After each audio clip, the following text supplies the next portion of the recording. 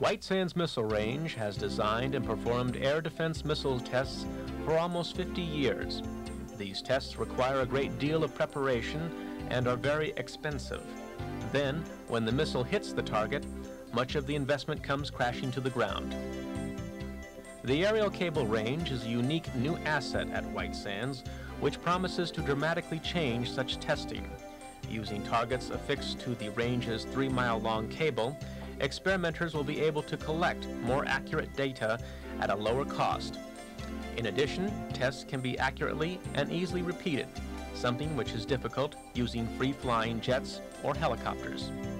The new test range is on the north end of White Sands and opened for business in early 1994. One end of the two and one half inch Kevlar cable is anchored in the Oscura Mountains. The other end is attached to a take-up winch and reel in the Little Burro Mountains. This setup allows the cable to be raised and lowered as needed. Normally, at its highest, the cable is 1,000 feet above the valley floor, midway between the two mountains.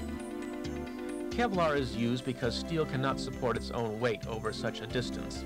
Also, the non-metallic material does not influence electronic testing. In simple terms, the cable serves as an aerial path or track for almost any kind of vehicle a tester might want to hang on it.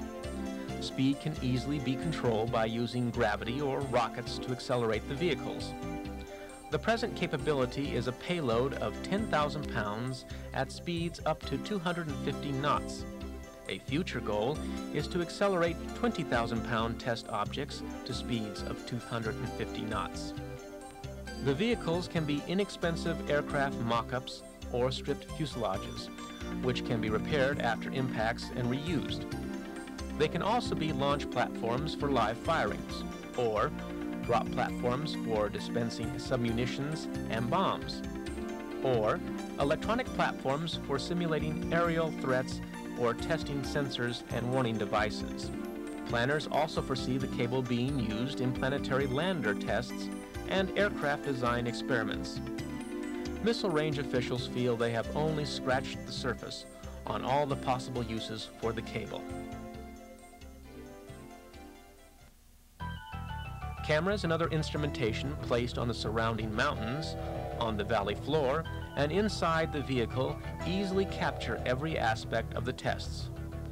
In 1989, White Sands was asked to act as executive agency in providing an aerial cable to the Department of Defense. Construction began in December of 1992 and was complete and operating a year and a half later, almost two years ahead of schedule. The reason for the rapid completion was the partnering effort between the various government agencies and contractors involved. All members of the team were committed to open communications and cooperation in an atmosphere of trust. In addition to the cable and anchor points, the facility includes a control bunker. This protected building is the facility's nerve center.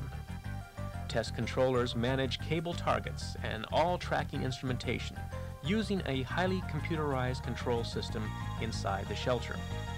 A service deck is in the winch area on Little Burro Peak. It is used for target and trolley assembly and the calibrating and static testing of equipment. Also, there is an explosive storage area nearby and a large building with an overhead crane for vehicle repair, fabrication, and buildup. Shortly after completion, the aerial cable's first customer came on board in July 1994. By the end of September, after dozens of tests, it became apparent the new facility would provide considerable cost savings for government testers. As an example, the missile attack warning system was tested at the aerial cable range. The cost of the program was $700,000. A conservative estimate for the money saved by avoiding the use of conventional droned aircraft for these tests is close to $14 million. By using the aerial cable, numerous other users were able to share space on the mock-up and expose their sensors to realistic threats during the same tests. Unlike an actual aircraft, attaching additional items to the mock-up does not affect its airworthiness.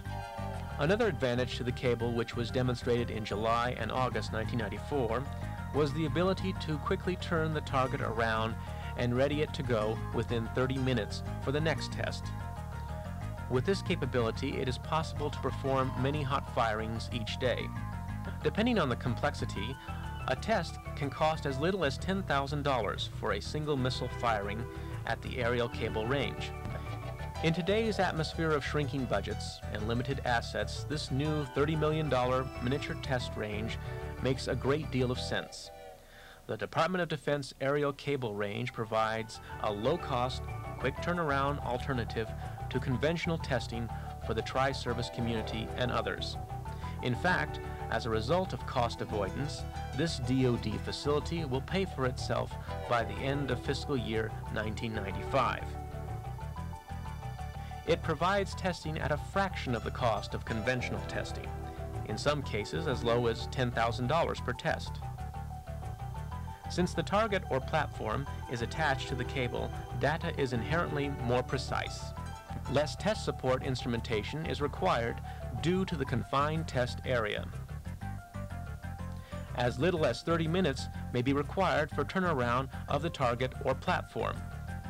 All services have equal access. Test costs can be easily shared by multiple users. The range has the capability of running up to 300 tests every year. The aerial cable range is available now for use by Army, Navy, and Air Force projects, as well as defense contractors, foreign governments, research laboratories, universities, and businesses. For more information, contact the following White Sands office.